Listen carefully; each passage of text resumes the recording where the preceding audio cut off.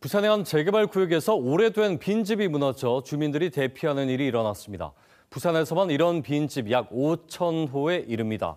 특히 사고에 취약하다 보니 안전 대책을 만드는 일이 시급합니다. 보도에 최위지 기자입니다.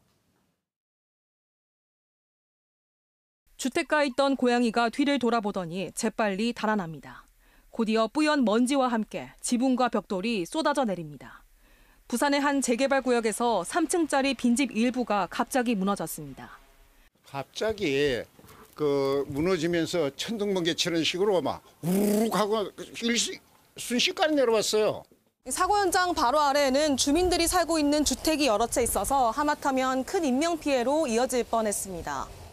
다친 사람은 없었지만 6가구 주민 10여 명이 임시 숙박시설 등으로 대피했습니다. 추가 붕괴 가능성이 높아 관할구청이 주변을 통제하고 있는 상황. 하지만 사고는 이미 예견됐습니다. 5년 가까이 방치된 이 집은 지난해 3월 구청 안전점검에서 벽면 균열과 철근 부식이 발견됐습니다. 구청이 지난해 두 차례 걸쳐 소유주에게 안전 조치를 요청했지만 지금껏 방치됐습니다. 위험하죠, 그가. 우리는 다니기가 겁나갖고 그쪽으로 못 다니고 돌아다니잖아요, 뒷길로. 빈집은 보수 보강 조치가 제대로 되지 않고 냉난방조차 이루어지지 않아 노후화 진행 속도가 훨씬 빠릅니다.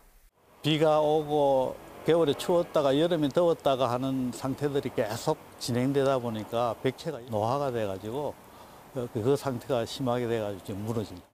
이곳처럼 1년 이상 방치된 빈집이 부산에만 약 5천 호, 전국적으로는 13만 호가 넘습니다. KBS 뉴스 최위지입니다.